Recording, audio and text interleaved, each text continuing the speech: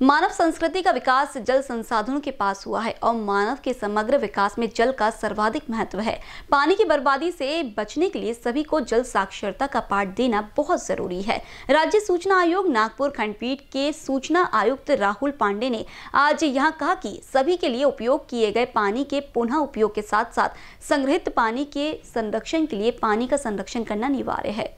समापन कार्यक्रम जल जागरूकता सप्ताह के अवसर पर वनमती में जल संसाधन विभाग, विदर्भ सिंचाई विकास निगम और भारतीय जल संसाधन संस्थान द्वारा संयुक्त रूप से आयोजित किया गया था।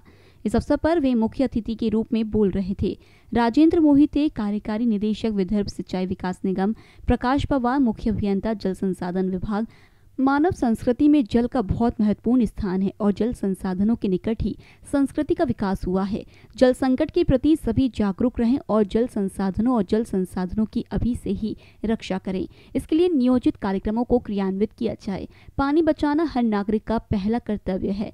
जल के उपयोग पर व्यापक जन जागरूकता पानी के महत्व को स्कूली पाठ्यक्रम में शामिल किया जाना चाहिए ताकि छात्रों को इसकी आदत हो सके। लगभग 350 साल पहले छत्रपति शिवाजी महाराज ने उत्कृष्ट जल प्रबंधन किया था और उन जल स्रोतों में अभी भी पानी की प्रचुरता है। इससे प्रेरित होकर योजनाबद्ध जल प्रबंधन किया जाए।